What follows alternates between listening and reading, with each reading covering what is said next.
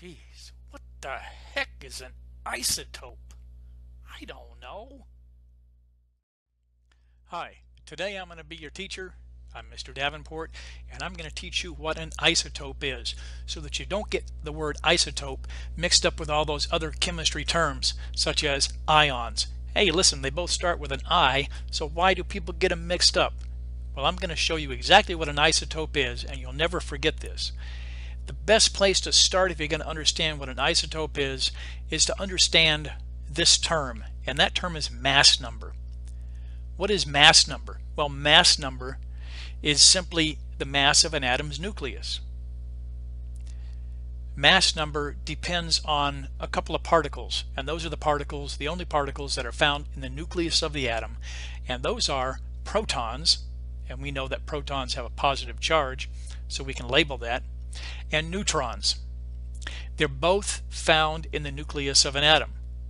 And both of these particles have one very important thing in common, and that is that they both have a mass of 1. We don't care about the electrons because the electrons are so tiny that they are insignificant to the mass of the atom. All of the mass of the atom is located in that very tiny, very dense nucleus where the protons and neutrons are located you know, as far as an atom goes, electrons are sort of like a flea sitting on the back of an elephant. The fact that the flea is there really makes no significant difference in the mass of that particular elephant. Well, likewise, the electrons in an atom are so tiny. Hey, an electron is like 1 1,832nd the mass of a proton or a neutron. So it's really insignificant to the mass of the atom. So when we talk about the mass of the atom, we're talking about the mass of the nucleus. And when we're talking about the mass of the nucleus, we're talking about the protons and neutrons, each of which has a mass of 1. So if we want to know the mass of the nucleus, all we have to do is count the protons and the neutrons in the nucleus. It's that easy. So let's continue from there. What is an isotope? By definition, an isotope is atoms of the same element that have different mass numbers. So let's figure out why they have to have different mass numbers or how they get different mass numbers. Let's take a look at this atom. And we can ask ourselves what atom is this? And we look at the nucleus, we know that it has an atomic number of 10. It has 10 protons in its nucleus. And so if we look on the periodic table, we find that the atom that has atomic number of 10, 10 protons in its nucleus, is neon. So we can identify this atom, the symbol for which is neon, Ne. Well, the symbol is Ne. And we know that the atomic number is 10 because it has 10 protons in its nucleus. So we can write the protons, the atomic number, down next to this symbol in E. Now if we also look at this nucleus, we can see that it has in it not just 10 protons, but also, in this case, 9 neutrons. The mass of the nucleus of this atom can be found by adding the protons and the neutrons. And so if there are 19 particles in this nucleus, that means that the mass of the nucleus is 19. And we can write that down as a superscript on the upper left side of this neon symbol. So here's our isotopic symbol for neon.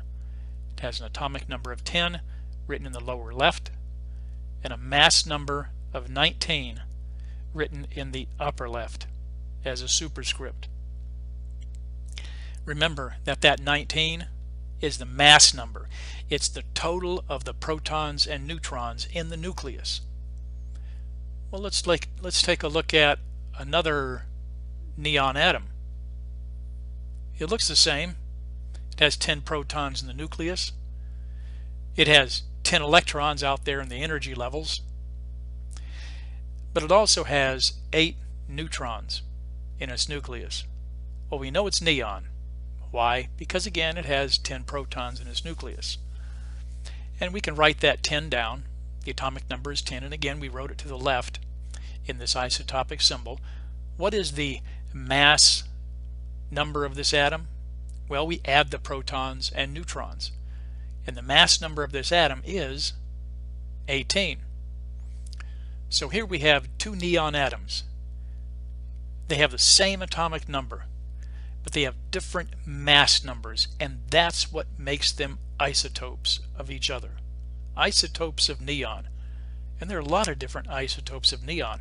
Here's another one. We take a look at this atom. We know it's neon. Obviously, it has 10 protons in its nucleus.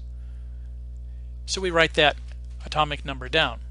We also see that it also has 7 neutrons in its nucleus, so when we add those together, we get a mass number for the nucleus of 17. And this is the isotopic symbol for neon 17. We actually have three isotopes of neon on this screen. Neon 19, neon 18, and neon 17. They are all atoms of neon because they all have the same atomic number. They all have atomic number of 10. Why? Because they, each one of them have 10 protons in the nucleus.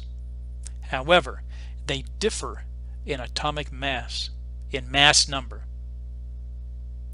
They differ in mass number because each one has a different number of neutrons in the nucleus. These are three isotopes of neon. Well, now we'll take a few minutes and we'll talk about some isotopes of hydrogen, the most common element in the universe, hydrogen. And there are different isotopes of hydrogen. We're going to talk about three of them. Here's an atom. You can see it has one proton in its nucleus. Obviously, that gives an atomic number of 1. And the element that has an atomic number of 1 is hydrogen. Well, if we want to write this as an isotopic symbol, we can again include the atomic number in the lower left and the mass number in the upper left.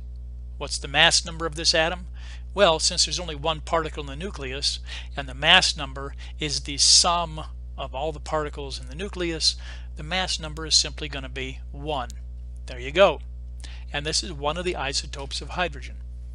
Here's another isotope of hydrogen. You can see it is hydrogen because it has an atomic number of 1. One particle is a proton. That's what gives it the atomic number of 1. But it has a second particle in the nucleus, and that is a neutron. And so if we add up the total particles in the nucleus, we get two particles in the nucleus, and that gives us a mass number of 2. So we have hydrogen 1 and hydrogen 2. That's how you refer to them. The, the isotopic symbols you can see here both have the same atomic number. They differ only in mass number. That's why they're isotopes of each other. Here's a third isotope of hydrogen. You notice that like the other atoms of hydrogen, it has one proton in the nucleus, giving it an atomic number of 1. But in this case, now it has not one neutron, but a, two neutrons in the nucleus. And so if we add up all the particles in the nucleus, we get a total of 3. So the mass number here is 3. And so we have these three isotopes of hydrogen, and they have names. The first isotope of hydrogen, hydrogen 1, is referred to as protium. The second isotope of hydrogen, the one that has a neutron in it, one neutron, is referred to as deuterium because it has two particles in the nucleus. It has a mass number of, of two. And the third isotope of hydrogen is referred to as tritium, obviously because it has a mass number of three. It has a total of three particles in the nucleus, one proton, two neutrons, for a total of three. Well, remember, isotopes. Atoms of the same element that have different mass numbers. They have the same atomic number, but they have different mass numbers. So let's see how much you understand about isotopes. I'm going to give you a chance to answer a few questions. Here's the first question. It says most atoms exist in nature as isotope. This means that each atom has A the same number of electrons and a different number of protons. B, the same number of protons and a different number of neutrons. C, a different number of protons and a different number of neutrons. And D, the same number of neutrons and a different number of protons. And if you paid attention, you know that the correct answer is B.